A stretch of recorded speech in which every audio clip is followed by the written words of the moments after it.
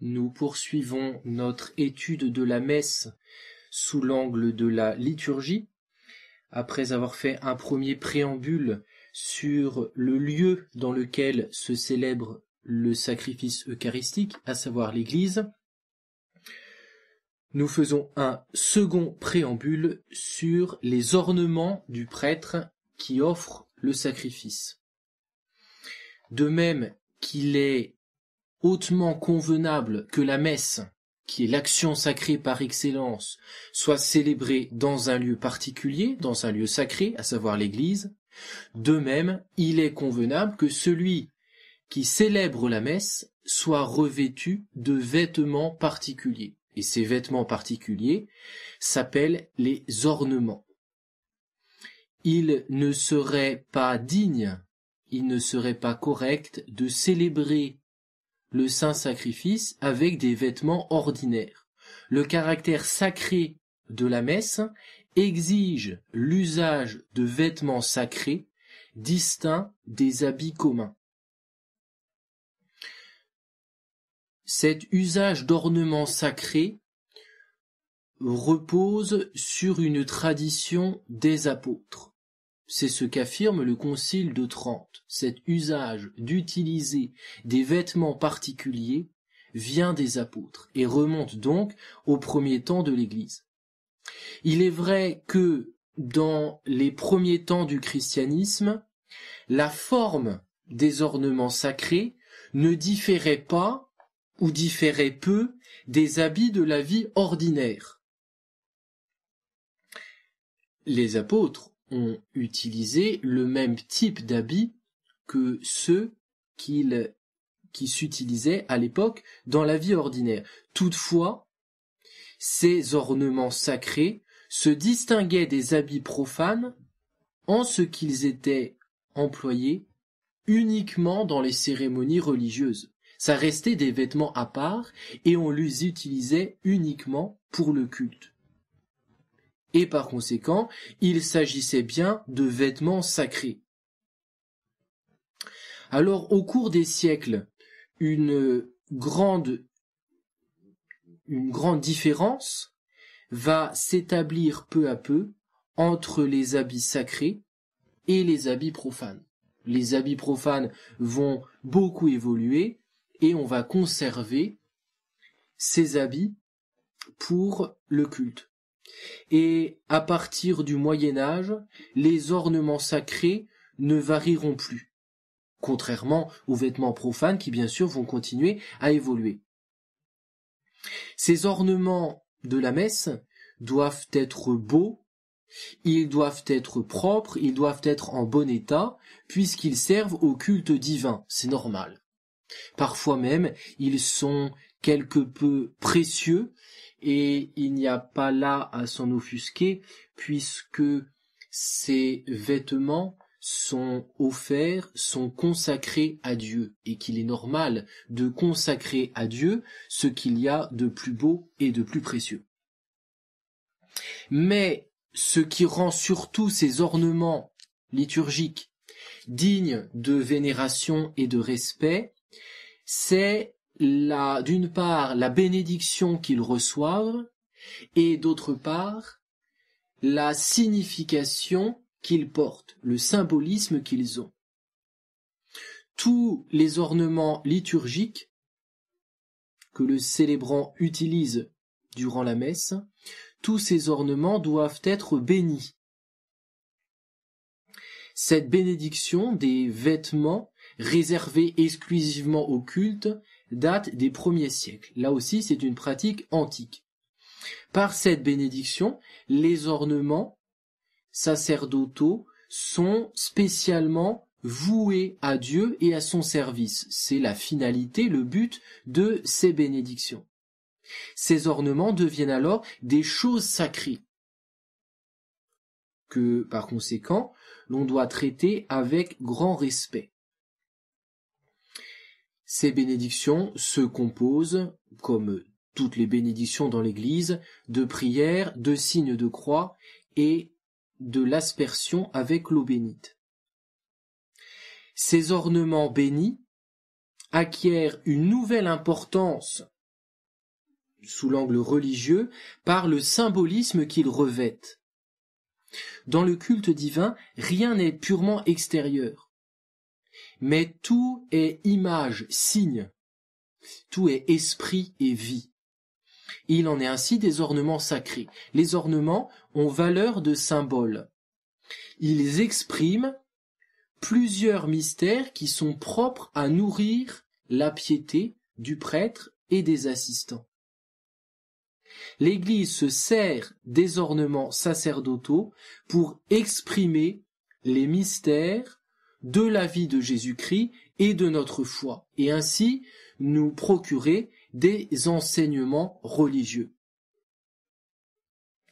Les ornements peuvent représenter tout d'abord certains habits dont Jésus-Christ était revêtu au moment de sa passion.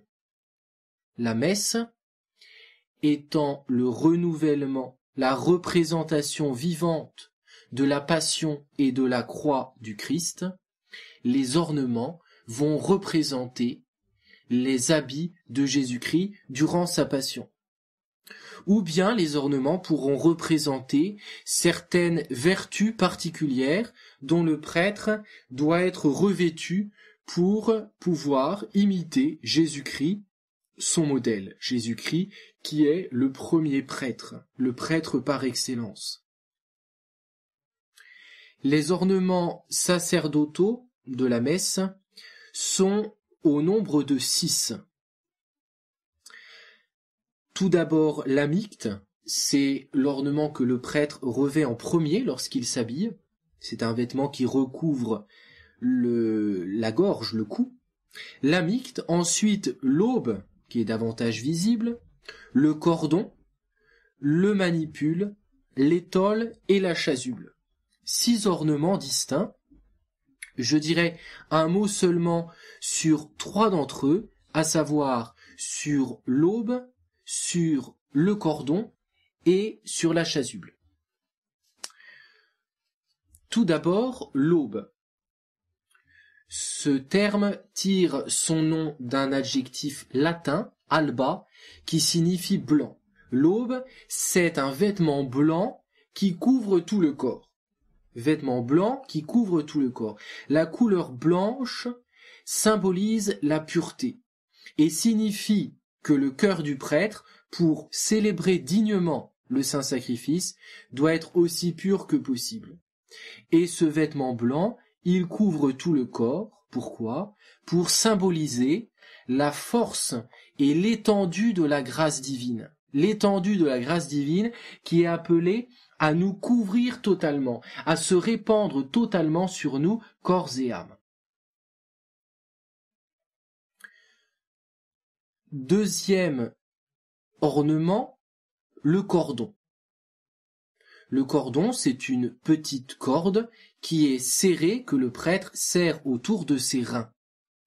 Ce cordon indique, signifie que le prêtre doit avoir une sainteté forte, une sainteté qui réprime sans relâche toutes les convoitises impures. C'est un symbole spécialement de tempérance et de chasteté. Symbole de tempérance et de chasteté. C'est pourquoi le prêtre, en se saignant du cordon, demande à Dieu dans une petite prière qu'il récite en même temps, il demande les vertus de continence et de chasteté, en vue d'être vraiment libre de cette liberté des enfants de Dieu et en vue d'être digne serviteur de l'Église.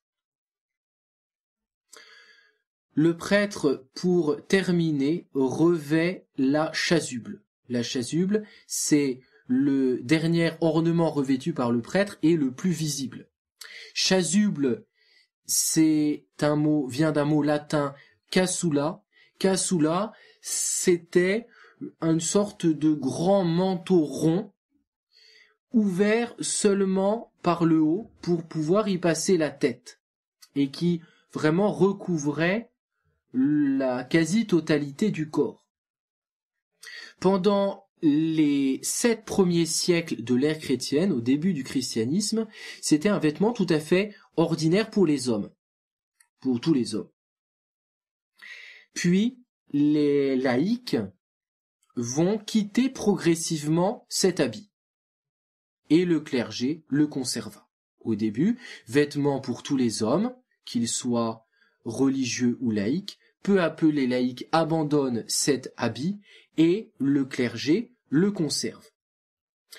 Et cette chasuble, ce, ce manteau, ici pour clercs, manteau ornement sacré, va évoluer peu à peu dans sa forme, mais non pas dans son symbolisme. Ce vêtement qui est plutôt lourd, ce vêtement qui repose sur les épaules de celui qui le porte et qui couvre la quasi-totalité du corps, représente la croix de Jésus-Christ.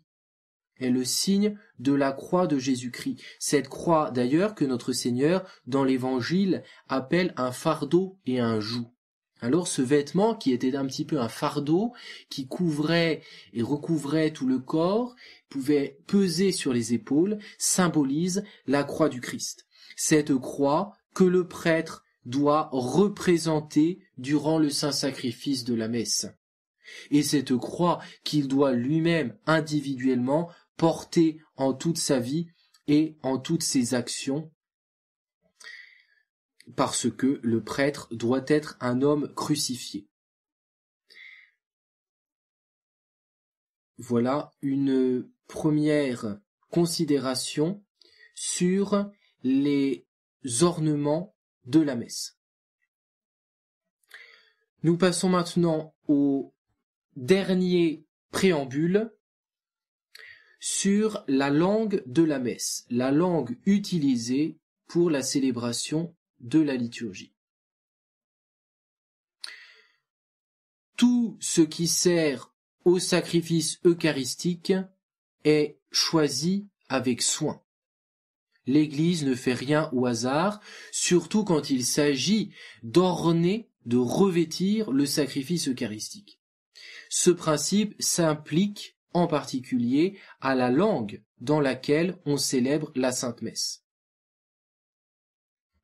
En soi, il est vrai, la messe peut être célébrée en toute langue. Mais l'Église a toujours voulu utiliser pour le culte non une langue vulgaire, on parle de langue vernaculaire, les langues ordinaires, mais une langue morte, par conséquent immuable, et plus apte à un usage sacré, à un usage séparé du profane. Cette pratique de réserver une langue morte pour le culte, afin d'en faire une, afin d'en faire une langue sacrée, a souvent été blâmée, été critiquée depuis le XIIe siècle jusqu'à nos jours. Et la plupart des hérétiques ou des schismatiques, enfin la plupart des hérétiques et certains schismatiques, ont voulu la supprimer. Par exemple, les albigeois au Moyen Âge, puis les protestants, les jansénistes, les gallicans. En remplaçant la langue sacrée qui de fait était le plus souvent la langue latine, en remplaçant la langue sacrée par une langue vulgaire, on cherchait plus ou moins explicitement à miner l'unité catholique et à affaiblir le sens religieux. Et nous verrons cela plus profondément dans un instant. C'est pourquoi les papes, jusqu'au Concile Vatican II, ont-ils toujours repoussé ces nouveautés avec énergie et ils ont affirmé qu'il ne fallait jamais changer la langue traditionnelle de la liturgie, quand bien même cette langue ne serait plus parlée dans la vie ordinaire.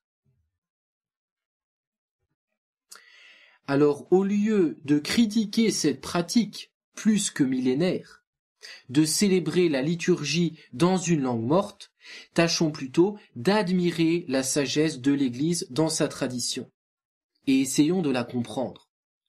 Quels motifs ont déterminé l'Église à conserver et à maintenir la langue latine dans tous les lieux où elle s'est répandue? Remarquons tout d'abord que ce n'est pas pour une raison de secret. Ce n'était pas pour cacher ses prières, cacher la signification de son culte, parce que l'Église ne cache ses dogmes à personne. Bien au contraire, elle désire que tous, que tous les fidèles parviennent à comprendre le mieux possible le sens varié, le sens profond des gestes et des prières du culte divin. Et d'ailleurs, elle demande aux prêtres d'expliquer aux fidèles le sens de ces prières et de ces cérémonies. Nous avons en particulier des textes du Concile de Trente qui affirment ce devoir pour les prêtres d'expliquer le sens des cérémonies. Voici ce que nous dit le Concile.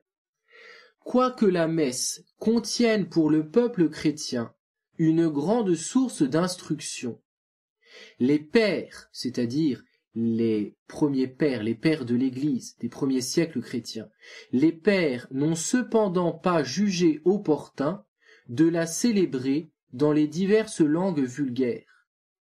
Ils ont conservé les rites anciens des différentes églises Rite approuvé par la Sainte Église romaine, mère et maîtresse de toutes les églises.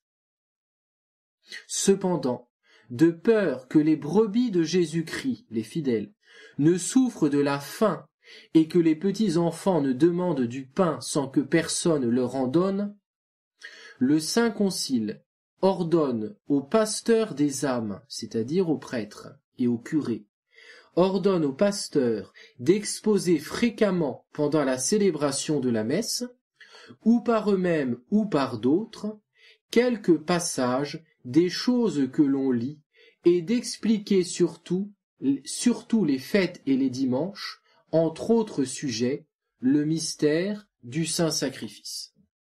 L'Église encourage les prêtres à expliquer aux fidèles la signification des prières et des rites qui composent la messe.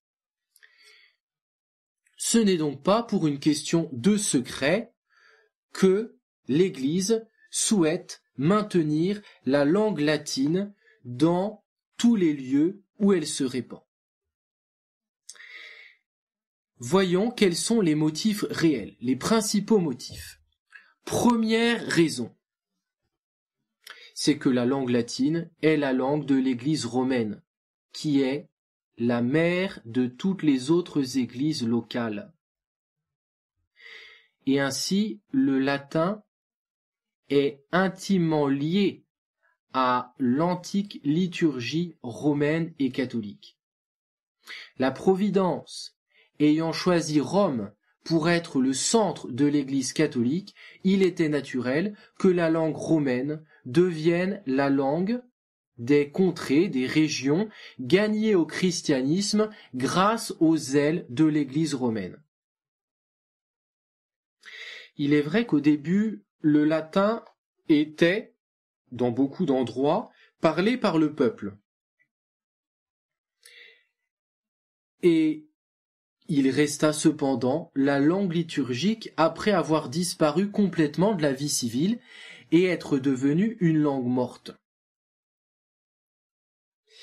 Mais l'histoire du catholicisme et de la liturgie est liée à cette langue latine, à cette langue latine qui a servi au culte dès le temps des apôtres. Et c'est pour nous, chrétiens du XXIe siècle, un grand bonheur de savoir que nous prions, que nous offrons la Sainte Messe avec les mêmes paroles et dans la même langue que les premiers chrétiens et les saints du passé. Deuxième raison en faveur d'une langue sacrée et en particulier de la langue latine pour le culte divin c'est que la langue latine s'approprie mieux au culte divin que les langues vulgaires parce que sa situation de langue morte la rend à la fois immuable et mystérieuse. Le latin langue morte, par conséquent, langue immuable et langue en un sens mystérieuse. le latin qui est utilisé dans la liturgie est immuable, alors que les langues vivantes se modifient et s'altèrent continuellement. Et nous le voyons bien aujourd'hui encore. Alors que deviendraient les livres liturgiques? S'il fallait les changer constamment afin de les mettre en harmonie avec le temps et avec l'évolution des langues, des langues vulgaires. Alors les prières liturgiques perdraient de leur force, elles perdraient de leur beauté, et elles pourraient aussi laisser place à des inexactitudes, à des erreurs même. Et tous ces inconvénients sont évités par l'emploi de la langue latine langue morte et par conséquent immuable. Mais aussi langue morte et donc langue mystérieuse. En effet, la langue latine n'est plus employée dans la vie ordinaire. Et cet aspect lui donne précisément un caractère mystérieux et sacré. Et sous ce rapport, elle convient parfaitement à la célébration de la messe, de la messe qui est le grand mystère de notre foi. Elle va favoriser la majesté, la beauté du culte divin. Notons au passage que l'usage de la langue latine n'est pas en vérité un obstacle à la participation des fidèles au sacrifice eucharistique.